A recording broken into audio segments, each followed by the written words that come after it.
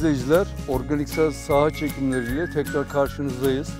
Balıkesir İli Gönen ilçesinin Sarıköy beldesinde Dereköy mevkiinde alt kısımda, Dereköy altı diye geçen kısımda bir çeltik arazisindeyiz. Ee, araziyle ilgili kısa bilgiler vereceğiz. Kullanılan gübrelerimiz hakkında bilgi vereceğiz. Arazideki e, üretimle ilgili detaylı bilgiler de almak için arazi sahibiyle birlikte röportajımızı sürdüreceğiz. Kendisi de yanımızda. Hoş geldiniz. Bulduk efendim. Ee, kendinizi kısaca tanıtabilir misiniz izleyicilerimiz için? Kadir Kısabacak, e, Gönen Sarıköylüyüz. Çeltik ekiyorum. Yani tarımla uğraşıyoruz. Ee, çeltik ekiyorsunuz. Ee, tarlanız mükemmel maşallah diyelim. Ee, yani siz yerinde ve zamanda uygulamalar yapmaya dikkat ediyorsunuz takip ettiğimiz kadarıyla. Ee, çok fazla bir yani gözü yoracak kadar fazla bir ot, yabancı ot çıkışı tarlada gözükmüyor.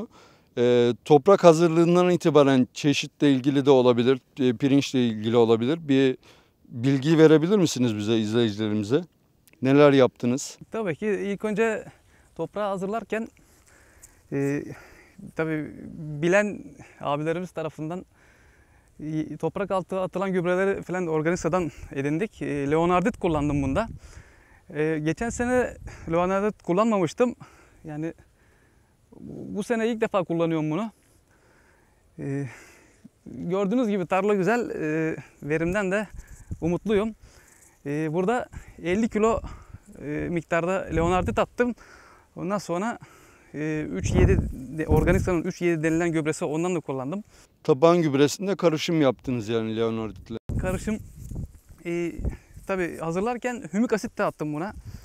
E, şey, ot ilaçlarımla birlikte yani o, ot tohumunu patlatmayan ilaçla birlikte hümik asit de kullandım. Hı hı. İşte bunları bu şekilde. Şimdi e, toprak hazırlığı sırasında daha tohuma ekmeden tavan gübresiyle birlikte Leonardit karışımını kullandığınızı söylediniz. E, Hümik asit attım. Leonardit'i toprağa attık. hümik asidi tohum ekiminden önce uyguladınız. Ekiminden önce hümik asit evet e, ardından tabi Bir ilaç uyguladığınızdan bahsettiniz. Ot çıkarmayan bir ilaç. onu ilk defa bu sene uyguladım burada evet. Hı hı. E, bir de bizim tavsiyemiz vardı size. E, Black Diamond Supermax ile ilgili. E, sanırım bunu da kullandınız değil mi ilaçlama? Hümik asitle amino asit evet. Karıştırarak kullandınız. Karıştırarak kullandım evet. Evet. Ee, şimdi daha sonra ilacı verdiniz ve e, belli bir süre sonra tohum ekimini mi yaptınız? Kuruya atılan bir ilaçtı o. Yani ekimden önce attık onu. Hı hı. E, amino asit, e, ot ilacı, hümik asit karışımı atıyoruz. E, bir gün yani 48 saat sonra falan suyu verip e, bir gün sonra tohumu atıyoruz. Belli bir süre beklemeniz Tabii, lazım. Tabii beklemeniz. tohumun çıkışını da baskılayabilecek bir ilaç olduğu için herhalde belli bir süresi var. Şimdi e, üreticilerimizle şunu paylaşmak istiyoruz. Özellikle sizin yaptığınız taban gübrelemesinde leonardit ve gübre karışımını kullanmanız birçok üreticimize tavsiye ettiğimiz bir uygulama. Taban gübresi uygulamasıyla. Bununla tohum çıkışından tutun da tohumun e, gelişme aşaması ilk daha yeni gelişme aşamasında çok farklılıklar görünüyor.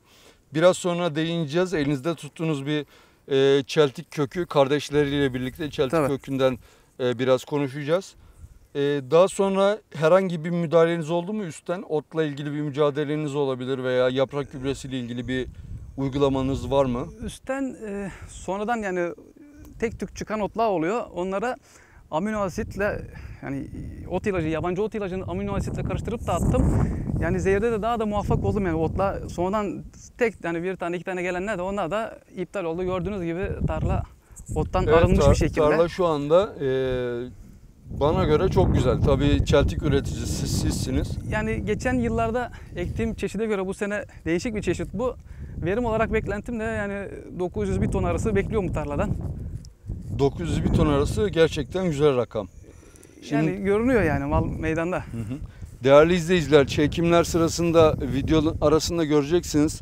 Renk farkı oluşturmuş olan tarlanın kısmıyla e, renk farkı olmayan yani rengi düzgün olan kısmı bu tamamen üreticimizin yaptığı ilaçla birlikte Black Diamond Supermax yani amino asit uygulamasıyla engellenmiş olan bir renk, renk farkıdır. Yani bitkinin üzerindeki stresi aldığı için bitkinin rengi e, açılmadan kaldığı yerden gelişimine devam edecek şekilde yaprakları da düzgün kalacak şekilde büyüyor, devam ediyor. Bilek Diamond Supermax'ı özellikle bütün ilaçlamalarda mantar olsun, böcek olsun, yabancı ot ilaçlamaları olsun karışıma girmesini tavsiye ediyoruz. Hemen ben tekrar dönmek istiyorum üreticimize. Ee, şimdi e, tarla tarlamızdan söktüğümüz kök yapısını görmek için ve kardeşleri görmek için söktüğümüz bir çeltik var e, elimizde. Bu çeltikle ilgili sizin gördükleriniz, sizin izlenimlerinizi alabilir miyiz? Yani kök yapısı çok güzel gördüğünüz gibi kendini geliştirmiş ve kardeş sayısı da e, çeşidin özelliği ya da bitki beslemede e, kullanılan ilaçlardan dolayı kardeş sayısı epeyce iyi yani. Yani ben onu saydım programdan önce 11 kardeş vardı. Bu normal bir sayı mıdır? 11 kardeş olması. Yani 11, 12, 13 öyle olduğunu Hı hı. biliyoruz.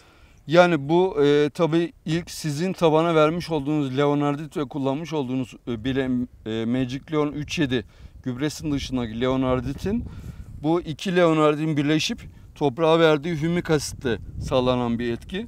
Biliyorsunuz hümik asit kardeşlenme sayısını ve kök gelişimini bitkide artırıcı etkiye sahip olan bir e, malzeme.